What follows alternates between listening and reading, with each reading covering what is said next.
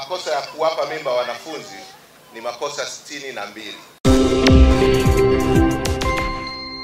Tatu.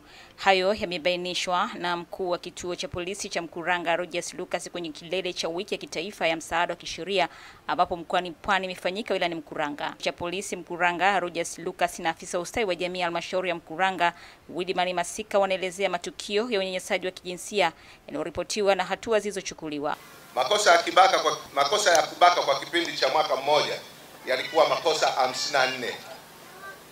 Makosa ya kulawiti yalikuwa makosa kumi na tatu na makosa ya kuwapa mimba wanafunzi ni makosa sitini na mbili. Makosa haya yameweza kushughulikiwa pale kwetu. mengine yanayoendelea yakiwemo ya utelekezaji, mashauri ya matunzo ndani ya ndoa na migogoro ya ndoa, asilimia ni kumi na nne. Mashauri yanayohusu watoto kwa ujumla wake, asilimia 86. Mkuu wa wilaya Mkuranga Dija Ali anazungumza kwa niaba ya mkuu wa mkoa wa Pwani Abubakar Kunenge, nasema jitihada zaidi zinahitajika za pamoja ili kumaliza migogoro inayokabili Mkoa umekuwa na migogoro mingi ya mirathi, ndoa, migogoro ya ardhi, hasa kudhulumiwa.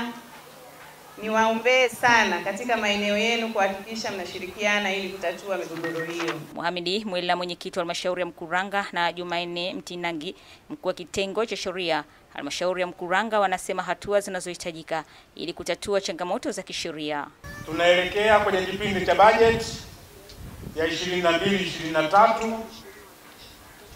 Ile timu ya bajeti ya halmashauri ya wilaya ya Mkuranga, basi tujipange kuhakikisha kwamba tunaongeza fungu katika kitengo cha sheria ili kuweza kuwafikia wananchi wengi hasa waliokuwa makatani.